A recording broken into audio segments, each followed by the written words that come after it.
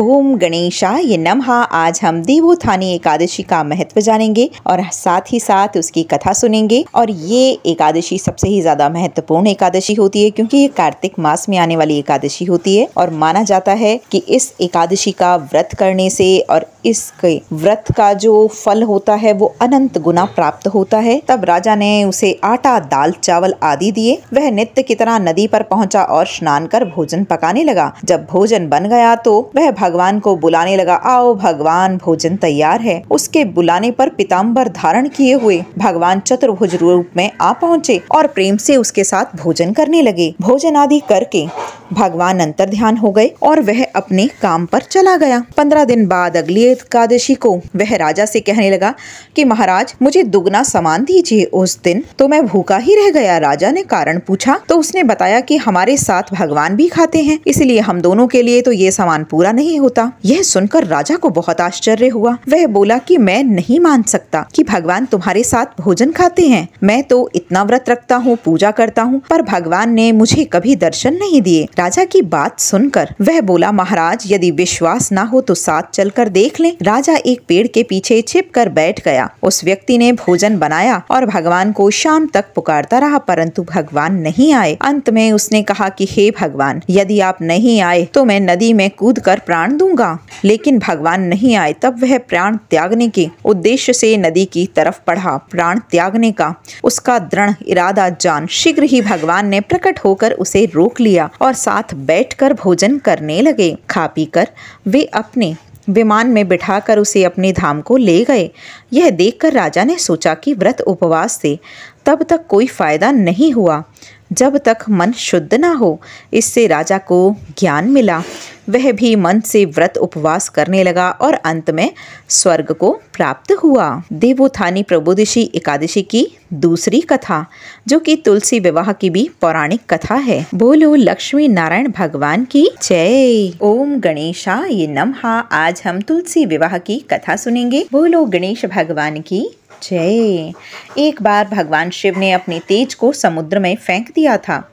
उससे एक महातेजस्वी बालक का जन्म हुआ। यह बालक आगे चलकर जलंधर के नाम से पराक्रमी दैत्य राजा बना। इसकी राजधानी का नाम जलंधर नगरी था। दैत्य राज काल नेमी की कन्या वृंदा का विवाह जलंधर से हुआ। जलंधर महाराक्षस था और अपनी सत्ता के मद में चूर होकर उसने माता लक्ष्मी को पाने की कामना से युद्ध किया, परंतु समुद्र से ही उत्पन्न होने के कारण माता लक्ष्मी ने उसे अपने भाई के रूप में स्वीकार किया। वहाँ से पराजित होकर वह देवी पार्वती को पाने की लालसा से कैलाश पर्वत पर चला गया। भगवान देवादिदेव शिव का ही रूप धर कर माता पार्वती के समीप गया, परंतु माँ ने अपने योग बल से उसे तुरंत ही पहचान लिया और वहाँ से अंतर ध्यान हो गई देवी पार्वती ने क्रोधित होकर सारा वृतांत भगवान विष्णु को सुनाया। जलंधर की पत्नी वृंदा अत्यंत पतिव्रता स्त्री थी। उसी के पतिव्रत धर्म की शक्ति से जलंधर ना तो मारा जाता था और न ही पराजित ही होता था। इसीलिए जलंधर का नाश करने के लिए वृंदा के पतिव्रत धर्म को भंग करना बहुत ही आवश्यक था। इसी कारण भगवान विष्णु ऋषि का वेश धारण कर वन में जा पहुँचे, जहाँ वृंदा अकेली भ्रमण कर रही थी। भगवान के साथ दो मायावी राक्षस भी थे, जिन्हें देखकर वृंदा भयभीत हो गई। ऋषि ने वृंदा के सामने पल में दोनों को भस्म कर दिया। उनकी शक्ति देखकर वृंदा ने कैलाश पर्वत पर महादेव के साथ युद्ध कर रहे अपने पति जलंधर के बारे में पूछा। ऋषि ने अपनी माया जाल से दो वानर प्रकट किए। एक वानर के हाथ में जलंधर का सिर था और दूसरे के हाथ में उसका धड़। अपने पति की यह दशा देखकर वृंदा मूर्छित होकर गिर पड़ी। होश में आने पर उन्होंने ऋषि रूपी भगवान से विनती की कि वह उनके पति को जीवित करें। भगवान ने अपनी माया से पुनः जलंधर का सिर धर से जोड़ दिया, परंतु स्वयं भी वह उसी शरीर में प्रवेश कर गए। वृंदा को इस छल का तनिक भी आभास न हुआ। जलंधर बने भगवान के साथ वृंदा पतिव्रता का व्यवहार करने लगी, जिससे उसका सतित्व भंग हो गया। ऐसा होते ही वृंदा का पति जलंधर युद्ध में हार गया। इस सारी लीला का जब वृंदा को पता चला तो उसने क्रोधित होकर भगवान विष्णु को हृदयहीन शिला होने का श्राप दे दिया। अपने भक्त के श्राप को भगवान विष्णु ने स्वीकार किया और शालिग्राम पत्थर बन गए। सृष्टि के पालन करता के पत्थर बन जाने से ब्रह्मांड में असंतुलन की स्थिति हो गई। यह देखकर सभी देवी देवताओं ने वृंदा से प्रार्थना की कि वह भगवान विष्णु को श्राप से मुक्ति दे दें। वृंदा वृंदा ने भगवान विष्णु को श्राप मुक्त कर स्वयं आत्मदाह कर लिया। जहाँ वृंदा की भस्म हुई, वहाँ तुलसी का पौधा उगा। भगवान विष्णु ने वृंदा से कहा कि, हे वृंदा, तुम अपने सतित्व के कारण मुझे लक्ष्मी से भी अधिक प्रिय हो गई हो। अब तुम तुलसी के रूप में सदा मेरे साथ रहोगी। तब से हर साल